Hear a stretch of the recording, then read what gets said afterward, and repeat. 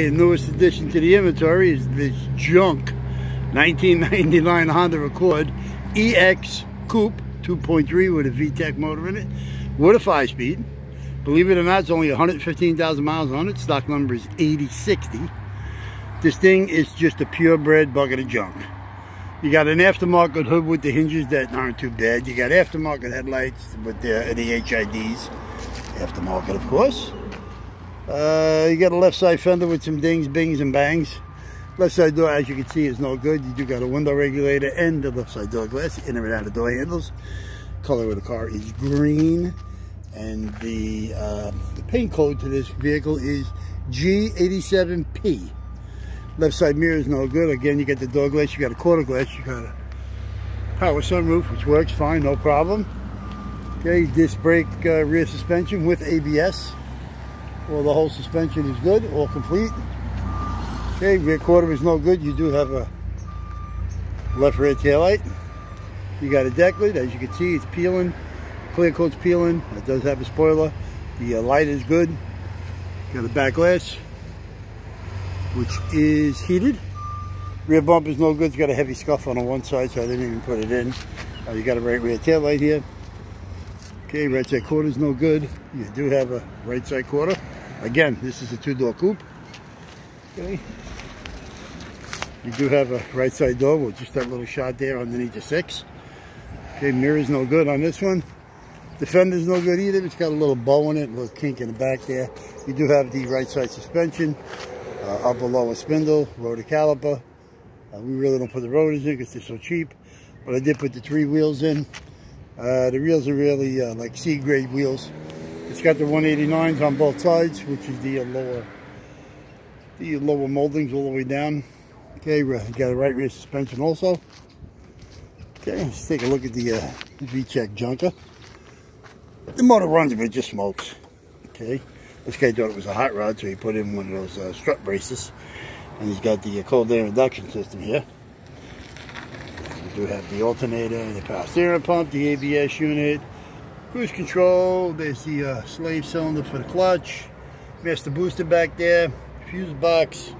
Fans are no good. I had the car running for quite a while. It didn't turn on. Uh, it just started to overheat a little bit. Uh, radiator is full. There is no AC condenser. They must have took it out uh, for cooling purposes. Uh, that's pretty much the underneath of this thing. Well, I should say the, the hood version. Okay, here's your uh, manufacturer sticker. Let We clear up a little bit here. Okay. There you go. Nice clear. There's your uh, paint. Interior uh, trim coat is F as in Frank. Seats are all no good. You do got manual seat tracks. Um, your window switches. Okay, with the power mirror. Again, like I said, it's a two-door coupe. Okay. Oh, man. Let's close the door because we got a little bit of a, a sun issue. All right, it's got an aftermarket steering wheel, but it is tilt. It does have cruise on the button, as you can see over there. Okay, it's got 115,633. There you got your uh, heater controls. Missing the knobs. Uh, works though, I tried it. Everything tested good. Uh, the uh, clock, digital, works no problem. There you go with a manual uh, plain Jane mirror. Here's your uh, visors. Okay, visors is uh, like a tan cloth. It is it does have the light, illumination, whatever you want to call it, with the little extension. Both sides are fine. Okay, you got your airbag up there, gray. There's your five-speed standard shifter. Console is no good.